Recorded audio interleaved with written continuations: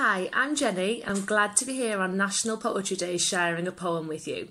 The poem I've chosen is by Sue Hardy Dawson and it's called The Kiss. I found an autumn necklace in the hedge, silken threads strung with tiny beads.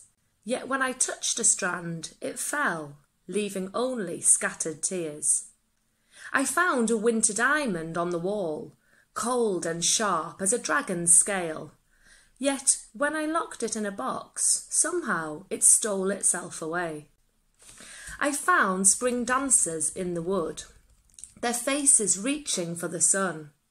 Yet when I put them in a glass, each grew heavy on its stem.